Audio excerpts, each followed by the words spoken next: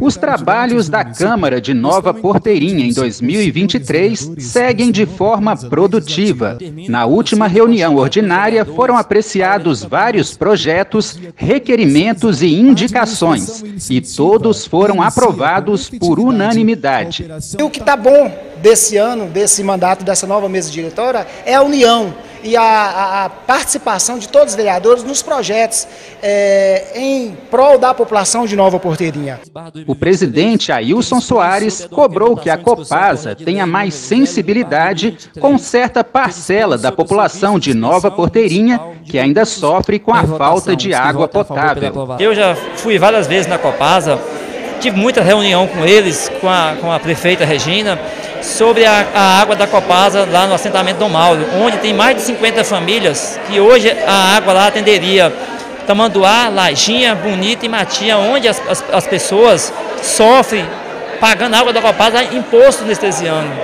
E a Copasa me prometeu, me garantiu que ia começar essa obra e até hoje não, não foi, não deu satisfação. Eu queria que eles tivessem um olhar especial para essas pessoas que precisam da água doce. O vereador Marcos Paulo requereu informações sobre os recursos da Vale que foram disponibilizados ao município e solicitou toda a documentação a respeito desse dinheiro.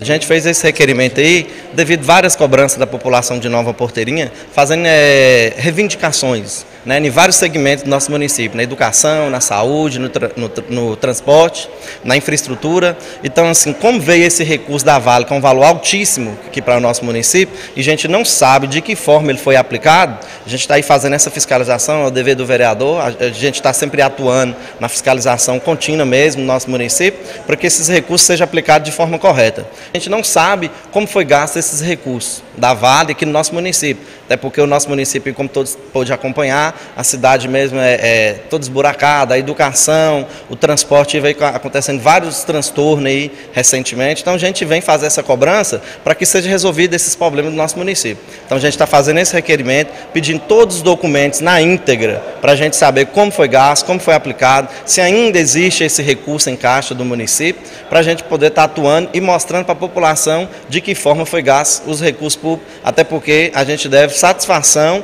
e explicação para o povo de Nova Porteirinha. E, e as pautas polêmicas não pararam por aí. O secretário Everson da Silva Ferreira cobrou que a Codevasf, juntamente com o Distrito de Irrigação do Gorutuba e a Prefeitura, se articulem para conquistar junto à União a obra de restauração do dique de contenção que se rompeu na colonização Paraguaçu, causando grande prejuízo aos produtores e à população local.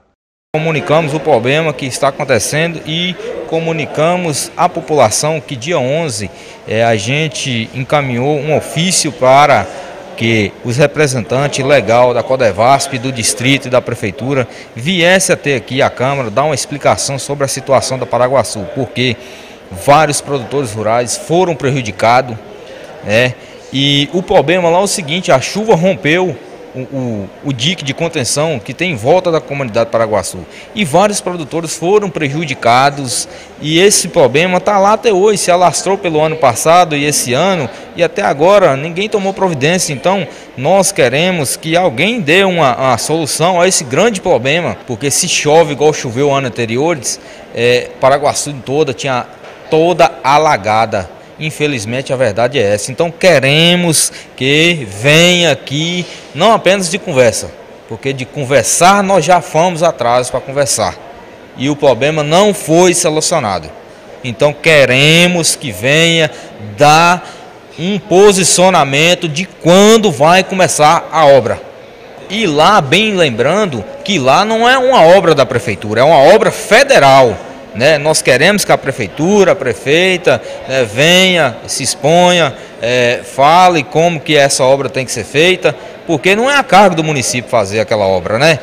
E para terminar a noite com alegria, a Câmara fez uma homenagem à Escola Estadual Inspetor Luiz Pedro, pelo projeto científico intitulado São José do Gorutuba, das tradições à promessa de dias melhores, água irrigando ou alagando sonhos. Os alunos pesquisaram a relação de parentescos dos desapropriados do antigo distrito de São José do Gorutuba com os alunos evadidos da escola. Gostaria de agradecer pelo carinho e pelo grande reconhecimento profissional. É muito bom saber que os nossos trabalhos extrapolaram os muros da escola. A partir do, do do governo, né, dos projetos, nós, eu e a diretora, entramos no consenso para é, estudar, né, lançar o projeto de pesquisa sobre a evasão escolar. Por que, que os nossos alunos evadiam, se eles tinham realmente parentesco com os desapropriados do São José do Gurutuba, que é a a mais antiga comunidade aqui da região, e com a construção da barragem eles foram desapropriados. E com o decorrer do projeto, das pesquisas, nós é, conseguimos detectar que os nossos alunos não têm esse parentesco com os desapropriados. E sim que eles é, saem da escola para trabalhar, né? E as meninas, porque engravidam precocemente. Nós conseguimos que eles sobressaíssem, nós conseguimos que eles é, pesquisassem e de forma magistral. E aí, do decorrer do projeto, eles participaram da FEMIC, né, que é a Feira Mineira de Iniciação Científica, que é a nível internacional, e tivemos é, o privilégio de ser premiados como participantes da FEMIC Júnior, ou jovem, e também a aluna Karen, que ganhou uma bolsa da CNPq. A gente ter essa, esse prazer de sentir essa vitória é muito gratificante. O trabalho foi premiado na Feira Mineira de Iniciação Científica, a FEMIC. Gratificante saber que o município onde eu moro reconhece o meu trabalho, o meu esforço e a minha dedicação e dos meus colegas pesquisadores. O que, é que você diria para todos esses seus colegas é, quem veio e quem não pôde vir também. Eu gostaria de agradecer, foi uma experiência incrível. É, aprendi a lidar em grupo, trabalhar em grupo. E gostaria muito que todos estivessem aqui, mas infelizmente não deu. A partir de agora, uma nova etapa em Roraima. O que, que você espera, suas expectativas? Ah, as expectativas são as maiores e melhores, né? É, espero que seja incrível como desenvolvido aqui e creio que nós vamos ser muito maravilhosos. Aqui hoje a casa estava cheia, graças a Deus, e o melhor aqui hoje foi a moção de aplausos para a escola, onde a diretora vem fazendo um bom trabalho com seus alunos, que estão de parabéns.